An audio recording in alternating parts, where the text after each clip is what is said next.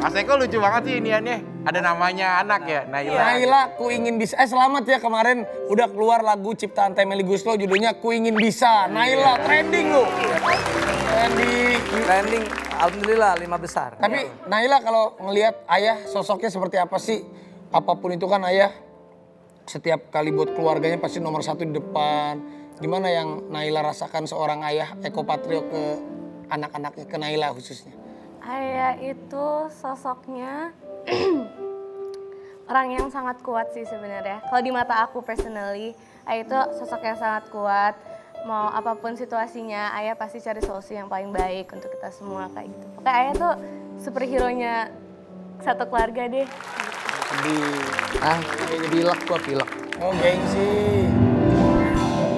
Tapi Naila kan anak perempuan satu-satunya. Pasti sekarang usianya udah 16 tahun. Pasti hati kecilnya ayah nih Deg-degan. deg-degan.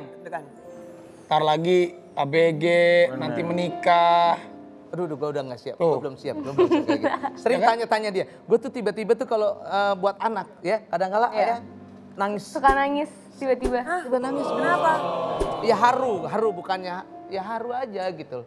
Tapi Eh, seneng gitu ya, bahwa gue dulu yang anak kampung banget gitu ya, nun jauh dari Jakarta, tiba-tiba gue bisa menikah sama Fiona, terus saya punya Punya anak, anak-anak.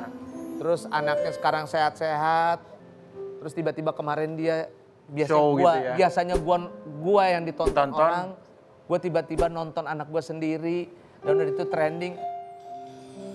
Ya, Emang apa mas perasaan mas saat ngeliat sosok Naila di panggung gitu? ya apa ya kalau gue lihat sih ya gue ya haru bangga. Seneng gitu. Seneng aja gitu bahwa anak gue eh, dilepas gitu dan dia bertanggung jawab terhadap dirinya dan dia akhirnya eh, bisa menampilkan sesuatu yang terbaik gitu ya. Ya ba- bangganya orang tua ya itulah. Apa yang kita lakukan segala macam kaki jadi pala pala jadi kaki tiba-tiba anak jadi sesuatu gitu ya. Itulah kebahagiaan hakiki kalau buat gue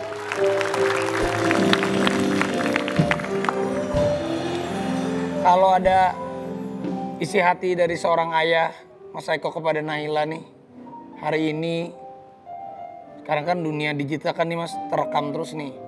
Mungkin tayang di Trans 7 hari ini, tapi kan bisa nonton di YouTube, mungkin 10 tahun lagi, 15 tahun lagi, 20 tahun lagi, mungkin Naila nanti udah pegang anak. cucu. Hari ini, Mas Eko mau ngomong apa untuk Naila? Ya, pesan gue sih selalu sama dia kalau dia jadi sesuatu atau apa pun bentuknya jangan pernah sombong sama orang. gitu ya. Yang kedua dia tetap santun sama orang. Yang ketiga jangan lupa lah yang namanya sholat, jangan lupa sama ngaji karena buat gue itu bekal yang paling paling paling berharga untuk untuk untuk dia gitu ya. Santun dan hormat sama orang tua itu lebih baik dan lebih baik.